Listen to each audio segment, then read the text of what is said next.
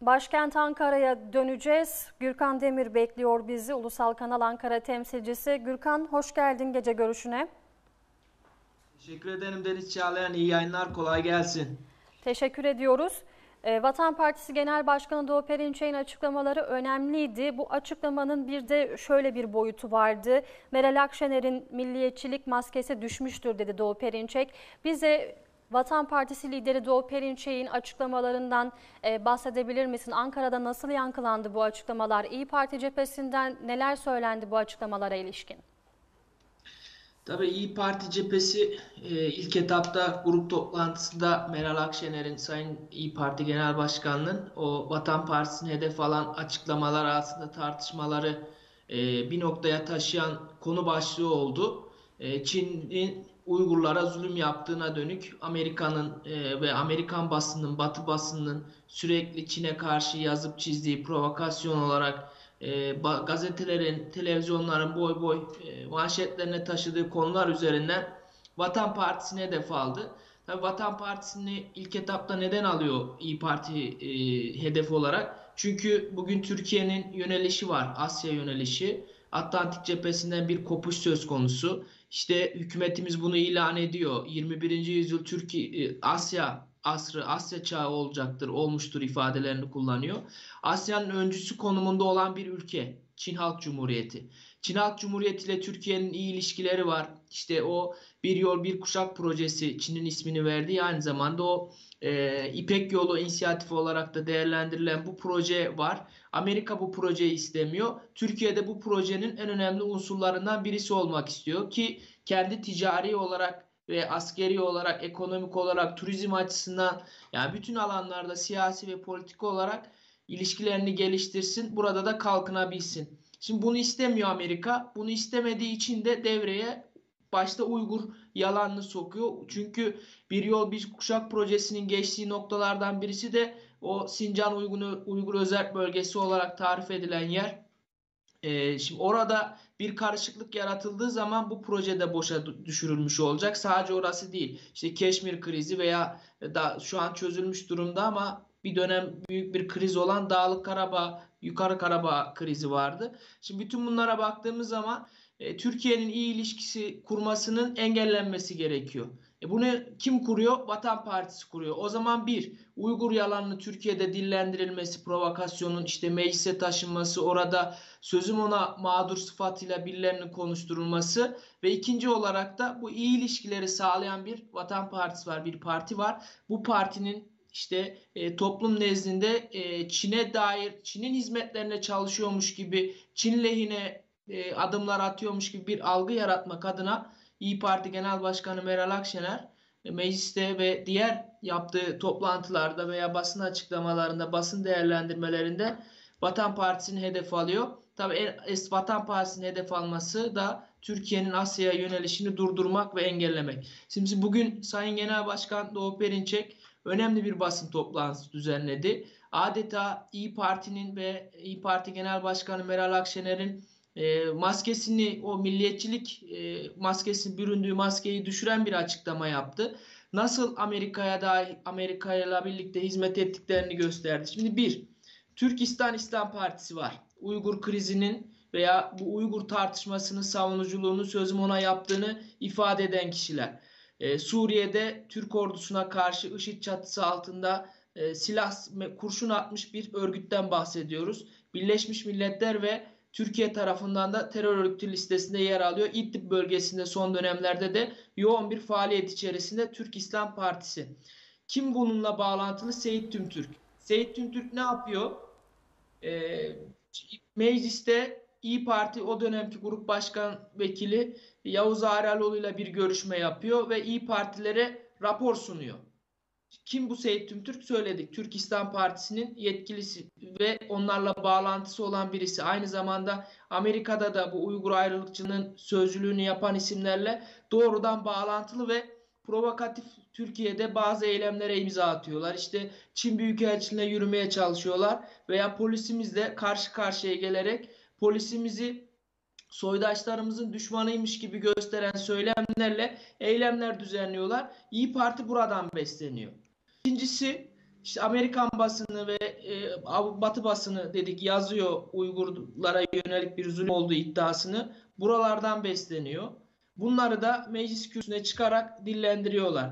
Şimdi Vatan Partisi Genel Başkanı Doğu Perinçek'in bugün yapmış olduğu açıklamalarda da bunlara dikkat çekiliyor ve Amerika'nın planları doğrultusunda nasıl İyi Parti Genel Başkanı Meral Akşener'in hizmet ettiğini ortaya koyuyor. Aslında Sayın Perinçek sadece e, bugüne bakarak yorumlamıyor. Geçmişten yorumluyor. 1990'lı yıllardan itibaren Meral Akşener'in FETÖ ile bağlantısı olduğunu açıklıyor.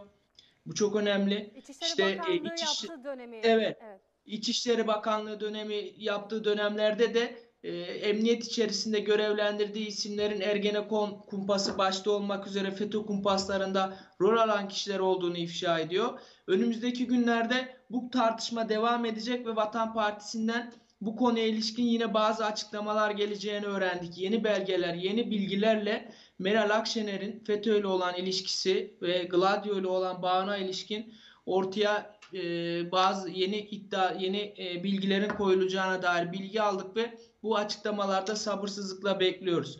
Yani şimdi İyi Parti içerisinde bakın e, Ümit Özdağ konusu vardı. Şimdi Ümit Özdağ'ın ihracı oldu. Sonra yargıdan döndü. Şimdi ikinci kez ihraç edilmesi gündemde ama en nihayetinde Ümit Özdağ'ın orada bazı eleştiriler vardı. İyi Parti içerisindeki kürecile, küreselcilerin olduğunu, onlarla karşı bir mücadele yürütüldüğünü açıklamıştı. İşte CHP üzerinden HDP'ye eklemlenmesi gibi bazı eleştirileri vardı. Şimdi mecliste önergeler veriliyor.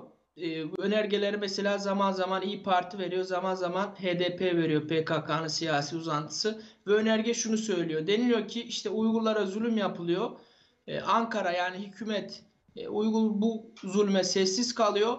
Biz bu sessiz kalmalarına karşı bu konuyu araştıralım. Mecliste HDP'ler kalkıyor, önerge veriyorlar ve sözüm ona Uygurlu yurttaşların haklarını savunacaklarını söylüyorlar. Bu önergelerle İyi Parti birlikte hareket ediyor. Bütün önergelere evet oyu veriyor. Yani önerge HDP'den gelsin ya da kendileri de sunmuş olsun. Önergeler tabii mecliste çoğunluğu AK Parti'de olduğu için AK Parti ve MHP'de kabul edilmiyor. Ama önergelerin kaynağına ve verilen oylara baktığımız zaman HDP ile İyi Parti meclis çatısı altında birlikte hareket ediyor. HDP ne? HDP PKK'dır.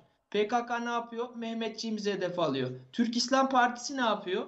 O da işte e, Zeytin Dalı Harekatı'nda özür diliyorum Fırat Kalkan Harekatı'nda Mehmetçiğimizi hedef almıştı. Şimdi bakıyoruz Mehmetçiğimizi hedef alan iki örgüt PKK ve TİP Türk İslam İslam Partisi. E, bunlarla birlikte siyasi kollarını veya siyasi olarak temaslarını kim sürdürüyor? PKK'nın HDP, e, Türk İslam Partisi'nin Seyit Tüm Türkler üzerinden de İyi Parti sürdürüyor. Mecliste de birlikte hareket ediyorlar. Yani Sayın Akşener'in nasıl e, Vatan Partisi Genel Başkanı Doğu Perinçek maskesini düşürdü? İşte bu şekilde düşürdü. Yani sözüm ona milliyetçilik e, yani Uygurlu yurttaşlar işte bizim soydaşlarımız e, Türk onlar e, o milliyetçilik bağlarıyla sürekli sürekli e, kamuoyunun önüne çıkarak açıklama yapıyorlar. Soydaşlarımıza zulüm yapılıyor. Herkes sussa biz susmayız gibi ifadeler kullanılıyor. Hatta yetmiyor. Amerika'dan Avrupa'dan tepki geliyor. Ankara'dan hiç ses çıkmıyor diye e, hükümeti de eleştiriyor Sayın Meral Akşener. E, yani toplam itibariyle baktığımızda o hep kalıplaşmış bir ifade oldu artık. Biden planları yani Biden kim? Amerika. Amerika'nın bir yükselen Asya'yı engellemesi, yükselen Asya'nın en önemli ülke ülkesi olan Türkiye ile Çin'in arasının açılması en nihayetinde Sayın Akşener'in açıklamalarının temelinde bu var. Trenler gidiyor. Bakın ihracat trenleri gidiyor. Sayın Akşener bunlarla ilgili ne diyor? Hiçbir şey. Tam aksine bu trenlerin gitmesini engelleyecek açıklamalar yapılıyor. Bu trenler nerede gidiyor? İşte İpek yolu için kurulan demir e, raylar üzerinde gidiyor. O raylar bombalansın istiyor Meral Akşener.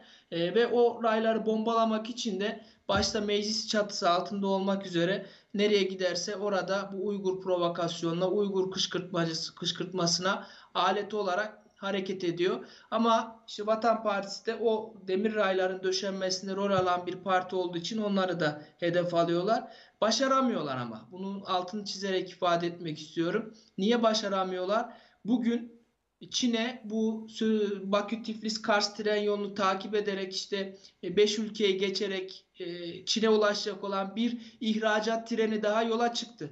Ve bor madeni taşıyor bu tren. İlk kez trenle Çin'e bor madeni gönderiliyor. Her ne kadar İyi Parti Genel Başkanı Meral Akşener bu trenin gittiği demir yollar, demir raylar, demir yolunu bombalamak istese de e, buna izin verilmiyor ve inşa edilen bu demir yolu üzerinde de ihracatlar devam ediyor. Üçüncü tren oldu bu. Bunun devamı da gelecek. Daha önce buzdolabı ve beyaz eşya gönderilmişti. Aynı tren Bakü-Tiflis-Kars'tan e, Çi- Rusya'ya başka bir e, hattı takip ederek bağlanan tren de yine bugün yola çıktı. Bugün iki önemli treni Türkiye e, gönderdi. Bu iki trene Vatan Partisi Genel Başkanı Doğu Perinçek şu ifadeyi kullanıyor. İşte Asya uygarlığına geçiş trenleri veya Asya uygarlığı trenleri. Hakikaten de öyle. İşte Sayın Meral Akşener de bu e, trenin gittiği uygarlığı bombalamak istiyor. O yolları bombalamak istiyor. En nihayetinde başarısız oluyorlar ve Türkiye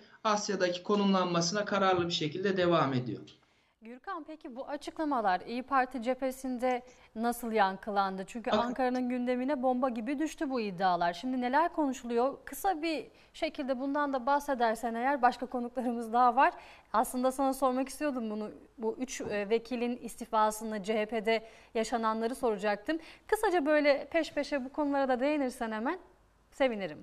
Ama şimdi e, Meral Akşener meclisteki yaptığı açıklamasından Aydınlık Gazetesi ve biz de haberleştirdik. Tabii Aydınlık Gazetesi yazılı basın olduğu için yaygınlaştırılması daha kolay oluyor. İyi Parti'nin milletvekilleri başta Twitter olmak üzere Instagram'da dahil olmak üzere hesaplarından Aydınlık Gazetesi'ni paylaşarak e, hedef almaya devam ediyorlar ve şu ifadeyi kullanıyorlar. İşte biz Çin'i eleştirdik, ses pardon bizim eleştirimize Çin'den ses geldi diyerek Aydınlık Gazetesi'nin manşetini paylaşıyorlar. E, bu şekilde yankılanıyor. Vatan Partisi Genel Başkanı Doğu Perinçek'in bugünkü açıklaması da yine kulislere senin de söylemiş olduğun gibi bomba etkisini yarattı. Önümüzdeki günlerde daha sık tartışılmasını, İyi Parti içerisinden bu konuya ilişkin sağduyuyla yaklaşan isimlerin açıklamalar yapmasını bekliyoruz Deniz Çağlayan. Peki çok teşekkür ediyorum Gürkan Demir'e. Ulusal Kanal Ankara temsilcisi, Vatan Partisi lideri Doğu Perinçek, İyi Parti Genel Başkanı Meral Akşener'in milliyetçilik e, maskesi düştü dedi ve özellikle 1900 1990'lı yıllardan bu yana Meral Akşener'in İçişleri Bakanlığı yaptığı dönemden bu yana o sicilindeki Gladio faaliyetlerini anlattı.